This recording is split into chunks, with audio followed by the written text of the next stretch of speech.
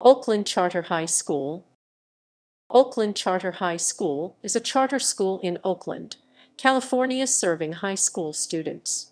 It was established in 2007. The school mascot is the Matador. It is part of the Amethod Public Schools system and the Oakland Unified School District. In 2010-2011 the school had 121 students.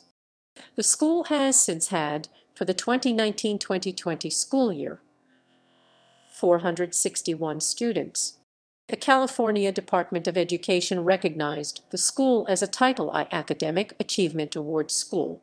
Students scored a 961 on the Academic Performance Index in 2010 and 938 in 2011, results that exceeded those of other Oakland high schools, except American Indian Public High School and ranking among the top high schools in California.